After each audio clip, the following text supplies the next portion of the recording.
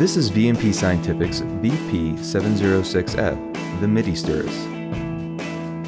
Designed to look like a large conventional stir plate, the Midi-Stirrus uses powerful neodymium magnets with a fast, powerful motor, able to stir any size bottle and large carboy. The deck is designed with a target pattern to make sure your container is centered directly over the stir.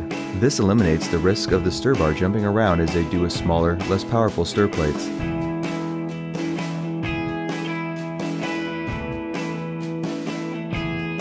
The stirrer is controlled with a manual knob and is capable of speeds up to 2000 RPMs. With real-time RPM display, you can be confident that your samples are stirring at the appropriate speed. Coupled with V&P stir bars, the Midi-Stirrus creates a large powerful vortex inside any size bottle. V&P encapsulates the strongest 52 MgO neodymium magnets with your choice of PEEK or PVDF material.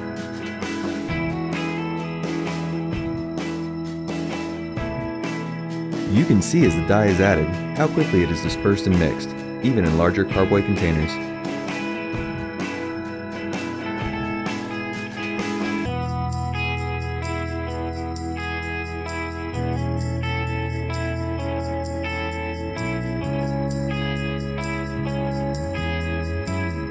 The Midi-Stirrus has no problem stirring this large 12 gallon carboy.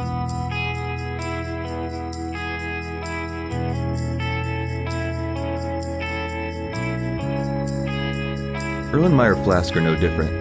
You can see how we can create a strong vortex in this small flask as well as a tall, effective vortex in this larger Erlenmeyer flask.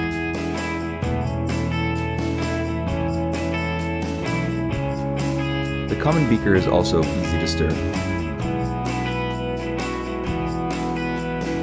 This Midi-Stirrus can also stir racks of tubes or vials.